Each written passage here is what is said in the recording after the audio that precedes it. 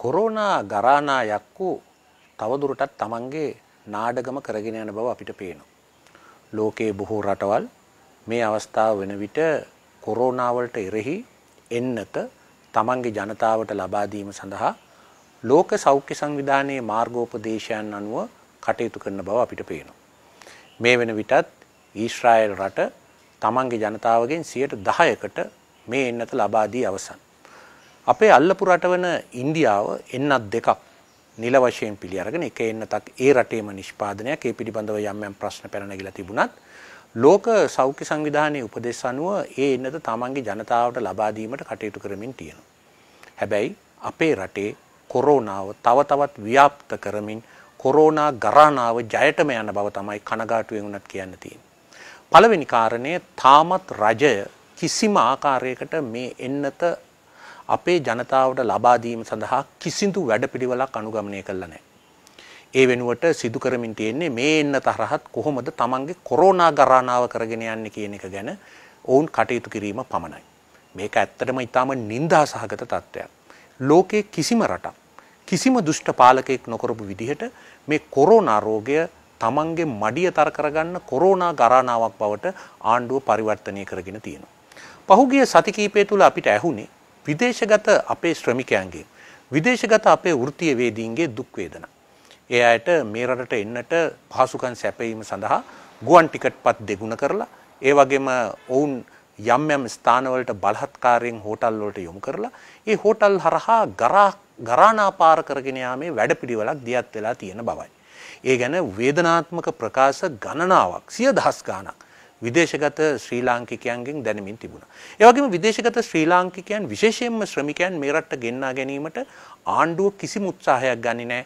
රුපියල් ලක්ෂ 3 සිට ලක්ෂ 5 දක්වා මුදලක් ඒ අහිංසකයින්ගෙන් ගරන්න අද මේ කොරෝනා ගරානායක් ඉදිරිපත් වෙලා තියෙන නිසා ඒ කිසිවෙක් මේ රටට එන්නේ නැතුව අදාළ රටවල් වල දහ දුක් විඳින බව, කන්න නැතුව දුක් විඳින බව, ගණිකා වෘත්තියේ දෙමින් දුක් විඳින බව දැන් පැහැදිලිව වාර්තා වෙලා තියෙනවා. ඒ කිසිවක් නැසූ කන්න ඊටාම අශීලාචාර විදිහට දැන් දිගින් දිගටම මේ කොරෝනා ගරානාව ක්‍රියාත්මකයි.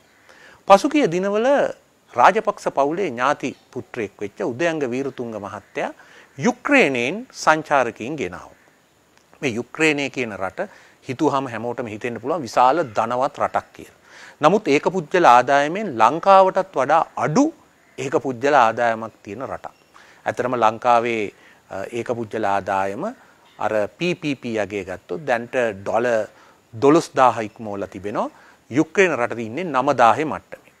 ඒ ඒ නිසා අපිට පේනවා යුක්්‍රේන රට අපට වඩා දුප්පත් රටක්. ඒවගේම යුරෝපයෙන් කොං වෙලා ගිය රටක් බොහොම ප්‍රශ්නවලට පහුගිය කාලේ මුණ දීපු රටක්. මේ රටෙන් සංචාරකයෝ ගෙනල්ලා ලංකාවේ සංචාරක ව්‍යාපාරය පනගන්නන්න හදනවා කියන්නේ ඇත්ත වශයෙන්ම මහා විහිළුවක්. ඒ විතරක් නෙවෙයි අද මේ යුක්්‍රේන ජාතිකයින් අතර කොරෝනා ආසාදිතයන් සිටි බවත් ඒ වගේම මේ නව කොරෝනා විශේෂය විශේෂම යුරෝපයේ පැතිරී යන එංගලන්තෙන් පටන් අරගෙන මේ විශේෂය ඔවුන් අතර තිබුණාද කියන ප්‍රශ්නයටවත් අද උත්තරයක් නැහැ. ඇත්තටම මේ යුක්‍රේනය සම්බන්ධයෙන් ලංකාවේ පහුගිය කාල වකවානුව තුළ විශේෂ සිදුවීම් ගණනාවක් සිද්ධ වුණා.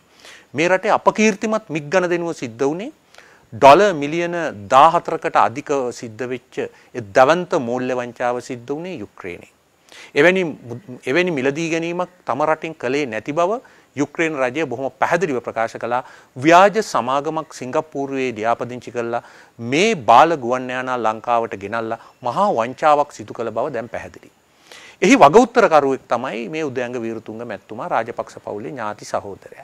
ඒවගේම යුක්්‍රේණය චෝදනා කලා තමන්ගේ රටේ ඉන්න බෙදුම්වාදී ත්‍රස්තවාදීන්ට රතුමුහුදේ නවත්තල තියෙන ශ්‍රී ලංකාවේ ඒ අවියාවුද සපයන්නන්ගේ ඒ ක්‍රියාදාමය නිසා ත්‍රස්තවාදී අවිසැපයීමක් සිදු වුණාද කියන මතය ඇති වෙලා තියෙනවා. අපි දන්නවා මේ රටේ ඇතැම් පුජ්‍යලික සමාගම් මේ පහුගිය රාජපක්ෂ පාලනයත් මේ රාජපක්ෂ පාලනයත් එක්ක එකතු වෙලා මේ අවිජාවරම් වල නියැලෙන බවට යම් යම් සාක්ෂි රට පුරාම පැන නැගිලා තියෙනවා.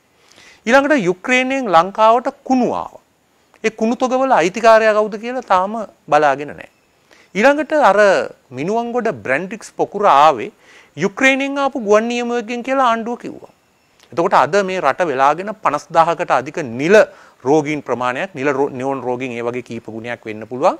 ඒ සියල්ලට වගකිව යුතු යුක්‍රේණයෙන් ආපු ගුවන් නියමුවෙක් කියලා තමයි කිව්වේ.